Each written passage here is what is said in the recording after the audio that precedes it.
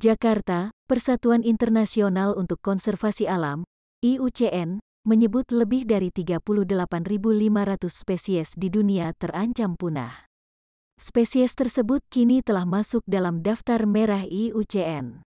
Indeks daftar merah menunjukkan tren risiko kepunahan spesies secara keseluruhan yang digunakan oleh pemerintah dari berbagai negara untuk pelacakan hilangnya keanekaragaman hayati. Pengkategorian satwa dalam daftar tersebut dilakukan dengan sangat hati-hati sejak tahun 1996.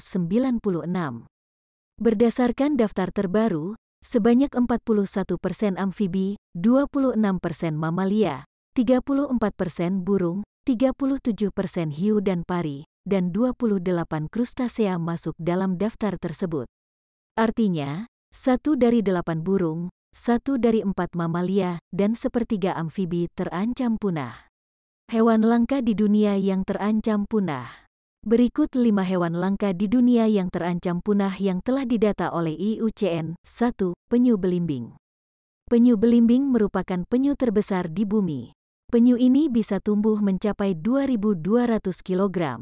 Selain terbesar di dunia, penyu jenis ini tidak memiliki cangkang keras seperti penyu lainnya.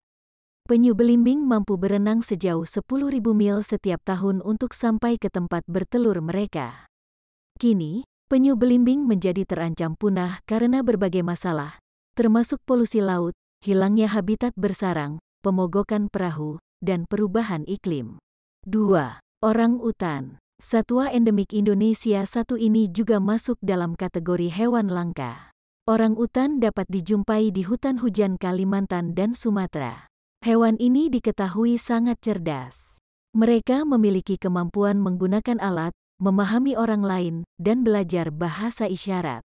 Orang utan mulai kehilangan habitatnya akibat deforestasi, terutama disebabkan pembukaan hutan untuk keperluan industri maupun perkebunan kelapa sawit.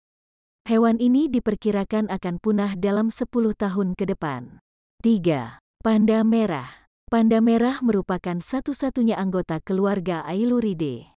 Hewan ini dapat ditemukan di pegunungan kawasan hutan tinggi di Asia.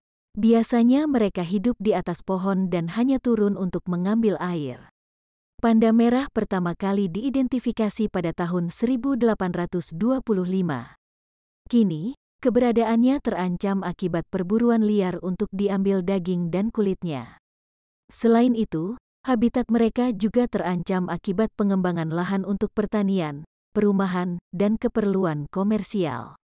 Diperkirakan, hanya tersisa 10.000 panda merah liar dan bahkan kurang dari itu. 4. Gajah Sri Lanka Gajah Sri Lanka adalah salah satu gajah Asia. Gajah ini terkenal sangat cerdas. Seperti lumba-lumba dan kera, mereka dapat mengenali diri sendiri di cermin. Hewan besar ini dapat hidup hingga 60 tahun di alam liar dan bahkan lebih. Seperti banyak hewan yang terancam punah, gajah Sri Lanka menghadapi hilangnya habitat karena pembukaan hutan. Karena hambatan di sepanjang rute migrasi mereka dari pengembangan lahan, hanya ada beberapa ribu gajah yang tersisa.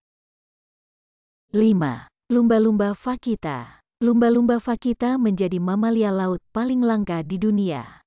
Keberadaannya di ambang kepunahan, lebih mengkhawatirkan dibandingkan dengan hewan yang hampir punah lainnya.